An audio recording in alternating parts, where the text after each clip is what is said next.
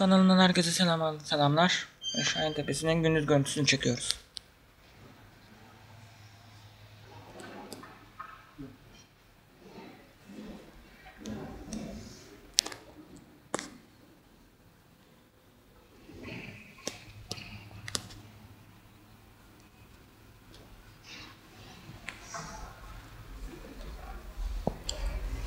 Burası da bizim evimizin balkonu.